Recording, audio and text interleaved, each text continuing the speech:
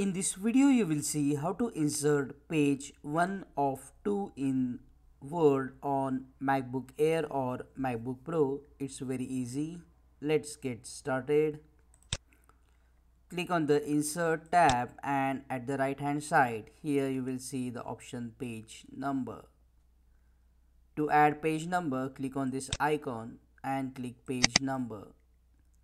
You will see this small window Select the position of the page number you want in header or footer.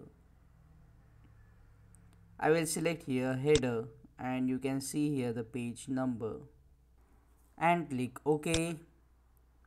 Now the page number is added. Double click in the header area. Before one type page forward arrow key spacebar of 2 and double click inside the Word document. Now you can see we have inserted page 1 of 2 and if we go to the second page you will see page 2 of 2. Now check out these useful videos shown on screen to know more about Microsoft Word on MacBook. See you again in the next videos.